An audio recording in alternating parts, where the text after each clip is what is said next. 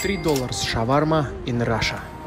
Every location has this small box with amazing shawarma, also with kebab and bunch of other nice food. The most expensive dish will cost you here only $6 and it's kebab from veal.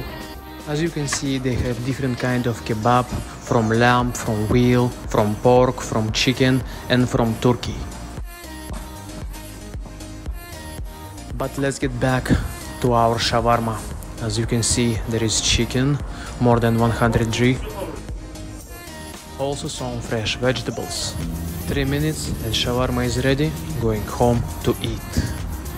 Just look at this beauty. 400 grams shawarma with chicken, cucumber, tomato, onions and carrots. Let's cut it to the half. Everything is very fresh and look very very tasty. Oh my god.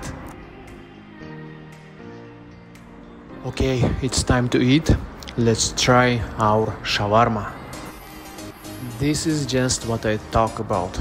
Very tasty, very healthy, very nice shawarma and only cost $3. $3 guys for 400 grams shawarma. It's a huge meal which will make you full, satisfied and you will be just happy. As for me, it's a very great meal after workout, which is contain everything what needs a bodybuilder. And only for $3. Oh yeah! Don't forget to like this video, follow my channel, and I will see you soon. Bye bye.